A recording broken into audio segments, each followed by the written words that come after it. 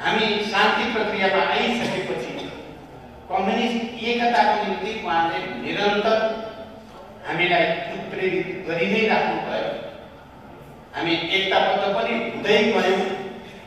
सायद नरबहादुर कर्मचारी जस्ता पुरानो पिँढीका निष्ठावान नेताकै कारणले हामीले पनि कम्युनिस्टहरूलाई एकताबद्ध गर्नु नै अबको देशको गत सङ्घर्षको निम्ति आवश्यक छ- भन्ने चेतना प्राप्त भयो र त्यही चेतनाको बलमा हामीले प्रयोग पनि गरेकै चौहत्तरको चुनावमा जे प्रयोग हामीले गऱ्यौँ त्यो एकताको प्रयोग थियो र त्यसलाई जनताले र आम नेता कार्यकर्ता सबैले अनुमोदन गरेको पनि हो।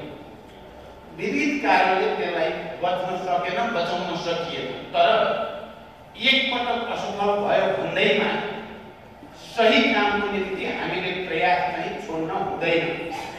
हामी निरन्तर प्रयास गरि नै राख्नु पर्दछ त्यसकारण अहिले पनि हामी कहीँ न कहीँ अघि यहाँ व्यक्त भइ नै सकेको छ राष्ट्रिय स्वाधीनताको विषय त्यसको सुदृढीकरणको निम्ति।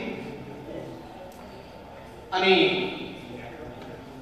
लोकतन्त्रको सुदृढीकरणको निम्ति र जनताका दैनिक समस्या समाधानको निम्ति पनि समाजवादको विकल्प छैन भन्ने हाम्रो विश्वास छ। जस जसले समाजवाद नै अबको क्रान्तिको बाटो हो भन्ने मान्छौँ सैद्धान्तिक रूपले वैचारिक रूपले ती सबै कुनै न कुनै रूपले सहकार्यमा कुनै न कुनै रूपले एकतामा जान पहल गर्नै पर्दछ। र अहिले धेरै जोखिम र चुनौती भए पनि हामीले कमरेड माधवजीले मतिर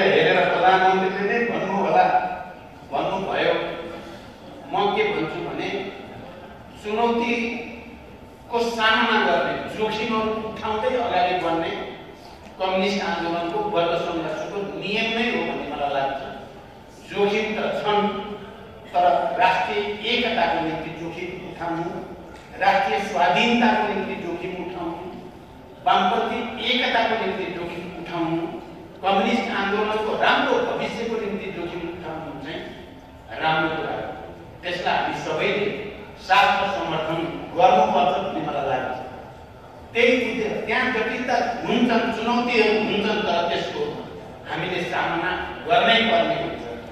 हामी त्यही बाटोमा छौँ।